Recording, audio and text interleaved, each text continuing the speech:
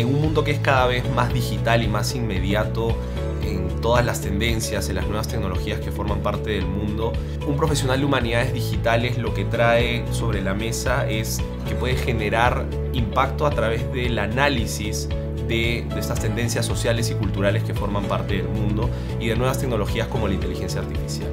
Lo interesante del profesional de humanidades digitales es un profesional multidisciplinario que basa su formación en tres pilares, ¿no? humanidades, tecnología y negocios y de esa forma transformar a las organizaciones y a la sociedad en general.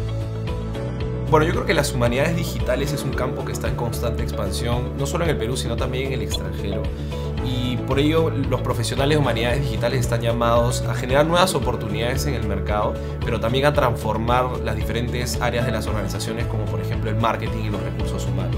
Con las herramientas que ellos tienen pueden ayudar también a acelerar y transformar los hubs de innovación que las empresas hoy en día están eh, creando justamente para atraer esta innovación a sus operaciones, trabajar en startups, en industria cultural, en industrias que hoy en día tienen alta dependencia de la tecnología, entonces el profesional de humanidades digitales tiene un espacio en cualquier industria y en cualquier organización, ¿no? Y puede trabajar obviamente también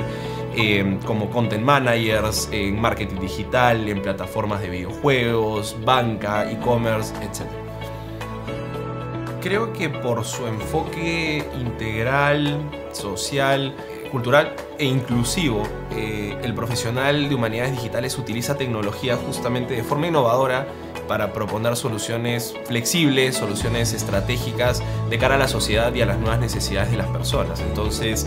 en ese sentido es capaz de transformar y generar grandes cambios en nuestro país y en la sociedad en general a través del aprovechamiento de las tendencias tecnológicas, haciéndolas realidad. Universidad del Pacífico.